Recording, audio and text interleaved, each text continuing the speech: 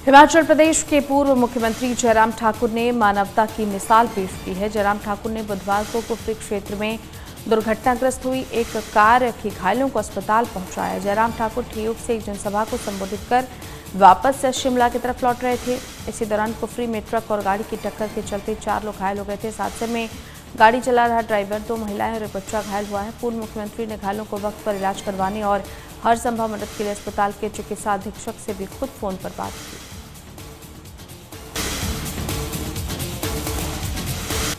केंद्रीय मंत्री अनुराग ठाकुर लगातार लोकसभा चुनाव के तहत आयोजित कार्यक्रमों में शामिल हो रहे हैं। इसी कड़ी में मंत्री अनुराग ठाकुर हमीरपुर में आयोजित पन्ना प्रमुखों की बैठक में शामिल होंगे। बैठक में राज्यसभा सांसद डॉक्टर सिकंदर कुमार के अलावा भोरंज मंडल पन्ना प्रमुख मौजूद रहेंगे। लोकसभा चुनाव के लिए जारी मतदान के बीच बुलाए गए पन्ना प्रमुखों की बैठक को काफ़ी अहम माना जा रहा है। बैठक में बीजेपी के मिशन 400 पार को हासिल करने के लिए केंद्रीय मंत्री अनुराग ठाकुर, पार्टी कार्यकर्ताओं और पन्ना प्रमुखों के साथ चुनावी रणनीति पर चर्चा करेंगे।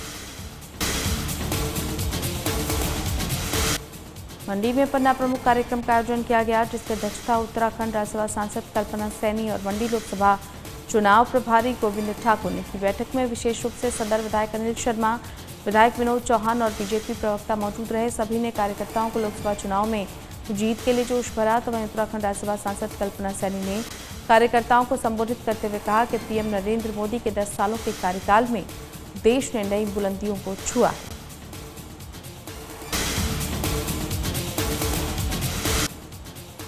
साल उन्नीस सौ इक्यानवे बैच के आईपीएस अधिकारी डॉक्टर अतुल वर्मा को हिमाचल प्रदेश का नया पुलिस महानिदेशक नियुक्त किया गया है। संजय कुंडू की रिटायरमेंट के बाद डॉक्टर अतुल वर्मा की बतौर पुलिस महानिदेशक नियुक्ति हुई है। निर्वाचन आयोग की मंजूरी के बाद राज्य सरकार ने इस संबंध में अधिसूचना जारी की है। दो महीने पहले हिमाचल प्रदेश सरकार ने डॉक्टर अतुल वर्मा को सीआईडी का डायरेक्टर जनरल बनाया था। अब डॉक्टर अतुल वर्मा को हिमाचल प्रदेश पुलिस का सर्वोच्च पद संभालने की ज़िम्मेदारी दी गई।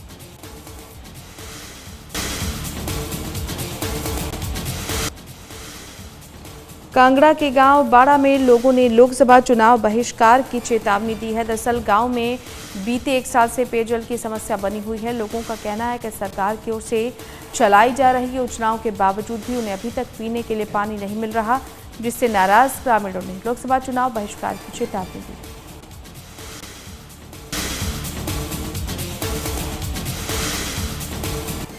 लोकसभा चुनाव को लेकर प्रधानमंत्री का तूफानी प्रचार जारी है। प्रधानमंत्री मोदी का आज गुजरात दौरे का दूसरा दिन है। आज पीएम मोदी चार जनसभाओं को संबोधित करेंगे। गुजरात के आनंद सुरेंद्र नगर जूनागढ़ और जामनगर में पीएम मोदी विशाल जनसभाएँ करेंगे। इस दौरान पीएम मोदी बीजेपी प्रत्याशियों के समर्थन में जनता से वोटों की अपील करेंगे।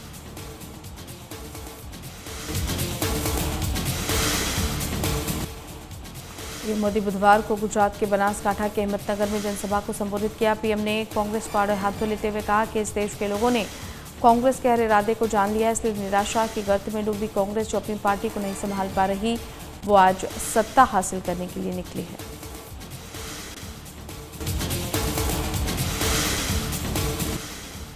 लोकसभा चुनाव में मिशन 400 पार के लक्ष्य को लेकर बीजेपी के स्टार प्रचारकों का धुआंधार प्रचार जारी है। इसके तहत गृह मंत्री अमित शाह और बीजेपी केंद्रीय रक्षा मंत्री राजनाथ सिंह आगरा पहुँचे, जहाँ उन्होंने जनसभा को संबोधित करते हुए कहा कि विपक्ष पीएम मोदी को लेकर कुछ भी कहे, लेकिन इस सच्चाई को कोई नकार नहीं सकता कि दुनिया में अगर किसी ने भारत का सिर ऊँचा करने का काम किया है तो वो पीएम मोदी ने किया है। विदेशों में अंतर्राष्ट्रीय मंच पर भारत की बात अब सभी सुनते हैं।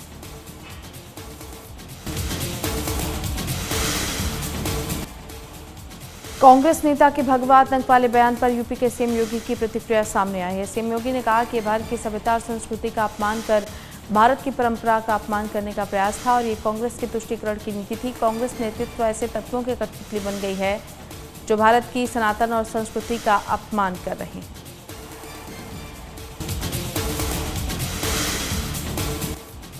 दिल्ली महिला आयोग के कर्मचारियों पर उपराज्यपाल का बड़ा एक्शन हुआ है। उपराज्यपाल वी के सक्सेना के आदेश पर दिल्ली महिला आयोग से 223 कर्मचारियों को तत्काल प्रभाव से हटा दिया गया। आरोप है कि दिल्ली महिला आयोग की तत्कालीन अध्यक्ष स्वाति मालीवाल ने नियमों के खिलाफ जाकर बिना अनुमति के इनकी नियुक्ति की थी।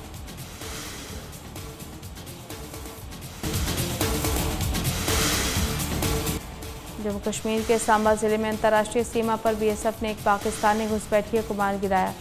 बताया जा रहा है कि बीएसएफ जवानों ने सांबा इलाके में पाकिस्तान की ओर से अंतर्राष्ट्रीय सीमा पर पार कराए। एक व्यक्ति की संदिग्ध हरकत देखी, जिसके बाद पहले उसे चुनौती दी गई, लेकिन जब वो सीमा की तरफ़ बढ़ता रहा तो सैनिकों ने इस पर गोलीबारी की और उसे मार गिराया।